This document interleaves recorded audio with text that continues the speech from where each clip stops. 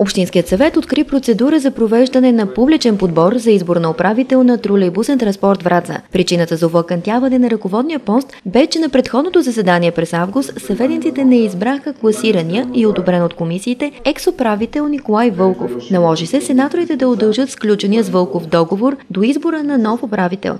Николай Вълков обаче депозира желанието си да бъде освободен от ръководния пост. Това наложи да бъде открита нова процедура за провеждане на публичен подбор, чрез който да се избере управител на тролейбусен транспорт Враца. Докато това стане факт, обаче съветниците трябваше да освободят екс-управителя Вълков, като преценят и дали да го освободят от отговорност за състоянието на дружеството. Освобождава неосвобождават отговорност и прекратява удължения договор за управление на тролейбусен транспорт, сключен с Николай Любенов Вълков. Второ, Избира временно изпълняващ длъжността управител на тролейбусен транспорт Враца ЕОД Виктория Красимирова Христова-Начева, старши експерт в звено транспорт и пътища на община Враца за срок от, до утвърждаване на класиране и избор на управител след провеждане на процедура за публичен подбор. Цветелина Дамяновска пък направи две предложения.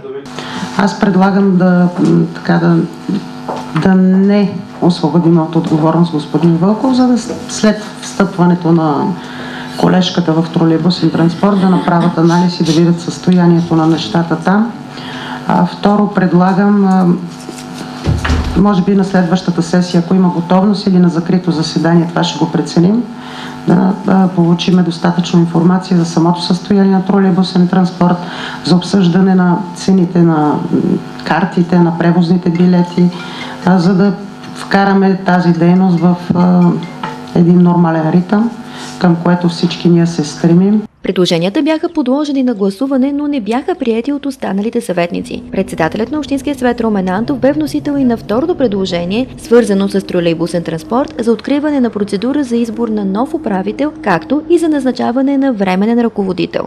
Открива процедура по провеждане на публичен подбор за избор на управител и възлагане на управление на тролейбусен транспорт в ЕОД за срок от 3 години от датата на сключване на договор Кандидатите за управител на тролейбусен транспорт Враца трябва да притежават образователно-квалификационна степен магистър в економическо или инженерно-техническо направление. Необходимо е да имат минимум 3 години ръководен професионален опит. Необходимите документи се подават в Центъра за обслужване на клиенти на Община Враца в 40-дневен срок от публикуване на обявата. След проверка на допустимостта на документите, кандидатите трябва да защитят бизнес план за управлението на тролейбусен транспорт и да решат бизнес задача за подобряване състоянието на дружеството и предоставяне предоставяне на качествена услуга на гражданите.